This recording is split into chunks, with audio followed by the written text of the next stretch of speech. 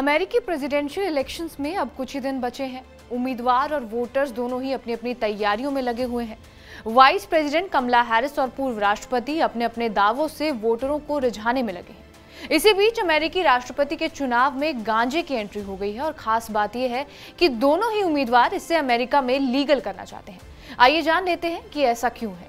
नमस्कार, मेरा नाम है रिया शर्मा और आप देख रहे हैं टीवी नाइन डिजिटल पाँच नवंबर को अमेरिका में वोटिंग के बाद जो भी राष्ट्रपति बनेगा, वो स्वाभाविक तौर पर व्यवस्था में कुछ ना कुछ बदलाव तो ज़रूर करेगा। इन बदलावों में से एक ये भी हो सकता है कि अमेरिका में गांजा लीगल कर दिया जाए। वास्तव में अमेरिका में पिछले 100 सालों से गांजे के इस्तेमाल पर संघीय रूप से बैन लगा हुआ है।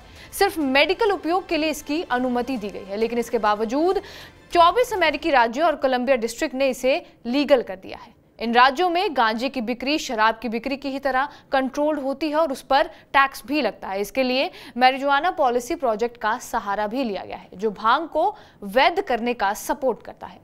खास बात यह रही है कि जिन राज्यों ने गांजे की बिक्री को वैध किया है, वहाँ पूरे अमेरिका की तिरपन फ़ीसदी आबादी रहती है।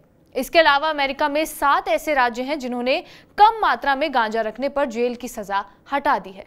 कुल मिलाकर 38 अमेरिकी राज्य और डिस्ट्रिक्ट ऑफ़ कोलंबिया में ऐसा कानून है जो गांजे के मेडिकल में उपयोग की इजाज़त देते हैं।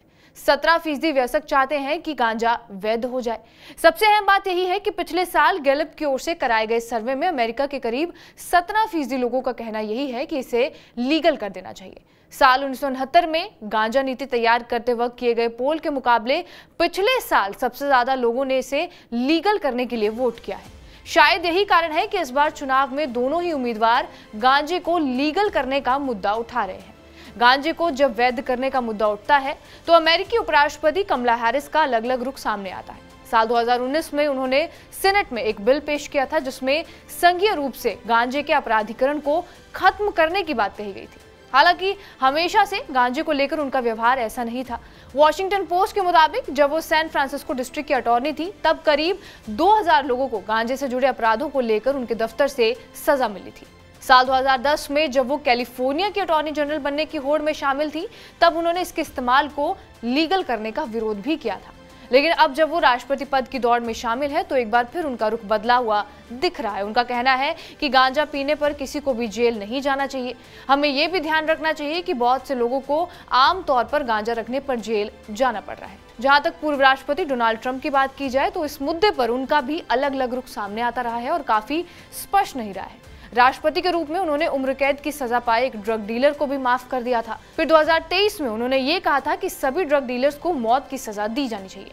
अब हाल ही में उन्होंने ये क्लियर रूप से कहा है कि फ्लोरिडा बैलेट इनिशिएटिव में वो गांजे को वैध करने के लिए वोटिंग करेंगे।